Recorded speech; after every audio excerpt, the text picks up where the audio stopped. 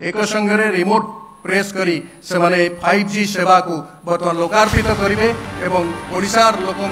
समर्पित करैको